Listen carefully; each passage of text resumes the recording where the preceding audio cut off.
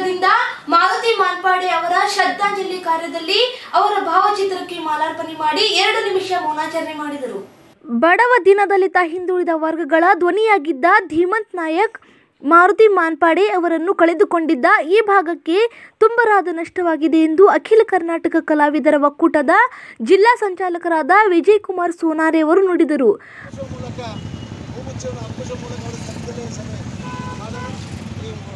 ಹೂವುಗಳು ಅರ್ಪಣೆ ಮಾಡಿದ್ರೆ ಒಂದು ಎರಡು ನಿಮಿಷ. ನಾವೆಲ್ಲರೂ ಅವರ ಆರ್ಥಿಕ ಶಾಂತಿ ಸಿಗಲಿ. ಮತ್ತೆ ಮಾನ್ಪಡೆ ಅವರಂಗೆ ಮತ್ತೆ ಮುಂದೆ ಇದರಲ್ಲಿ ಹೋರಾಟಗಳನ್ನು ನಮ್ಮನ್ನು ಮಾತನಾಡುವುದಕ್ಕೆ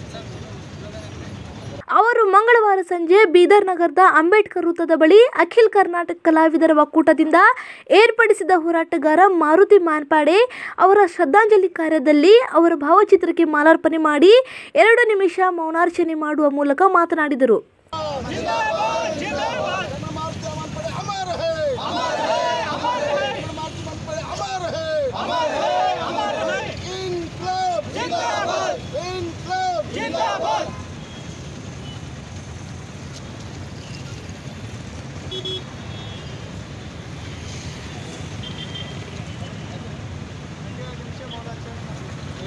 ದೂರ ದೂರ ನಿಂದ್ರಿ ನಾವೆಲ್ಲರೂ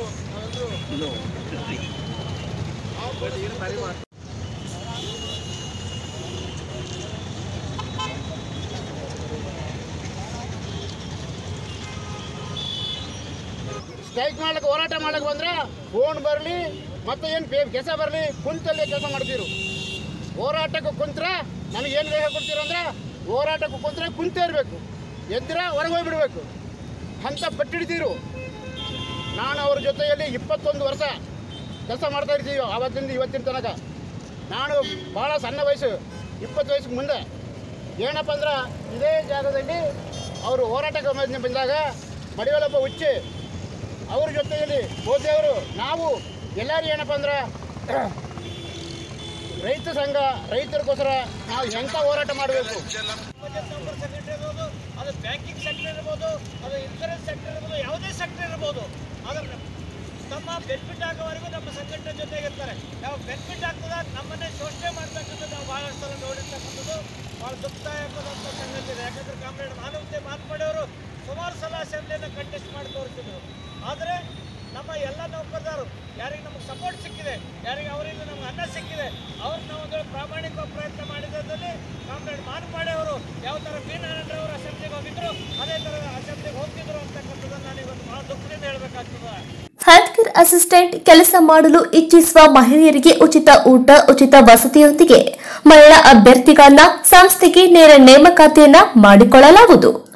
ಹೆಲ್ತ್ ಕೇರ್ ಅಸಿಸ್ಟೆಂಟ್ ಕೆಲಸ ಗೊತ್ತಿಲ್ಲದ ಮಹಿಳೆಯರಿಗೆ ಸರ್ಕಾರದ ಮಾನ್ಯತೆ ಪಡೆದ ಸಂಸ್ಥೆಯಿಂದ ಉಚಿತವಾಗಿ ಕೆಲಸ ಕಲಿಸಿಕೊಡಲಾಗುವುದು.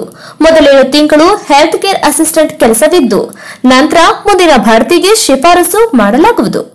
ವಿದ್ಯಾರ್ಹತೆ ಐದನೇ ತರಗತಿ, ಏಳನೇ ತರಗತಿ, ಎಸ್ಎಸ್ಎಲ್ಸಿ ಮತ್ತು ಪಿಯುಸಿ ಒಳಗೆ ಮಾತ್ರ.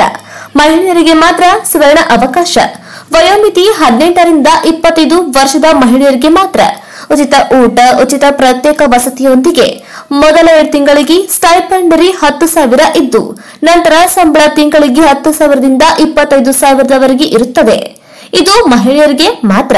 ಏಜೆನ್ಸಿ ಅಲ್ಲ, ಇದು ಸರ್ಕಾರದ ಮಾನ್ಯತೆ ಪಡೆದ ಸಂಸ್ಥೆಗೆ ಒಂಬೈನೂರು ಮಹಿಳಾ ಅಭ್ಯರ್ಥಿಗಳಿಗೆ ನೇರ ನೇಮಕಾತಿ. ಮೊದಲು ಬಂದವರಿಗೆ ಮೊದಲಾದ್ಯತೆ ಸಂಪರ್ಕಿಸಿ ಎಂಟು ಏಳು ಒಂಬತ್ತು ಏಳು ಎರಡು ಆರು ನಾಲ್ಕು ಆರು ಆರು ಐದು. ಎಂಟು ಏಳು ಒಂಬತ್ತು ಏಳು ಎರಡು ಆರು ನಾಲ್ಕು ಆರು ಏಳು ಆರು.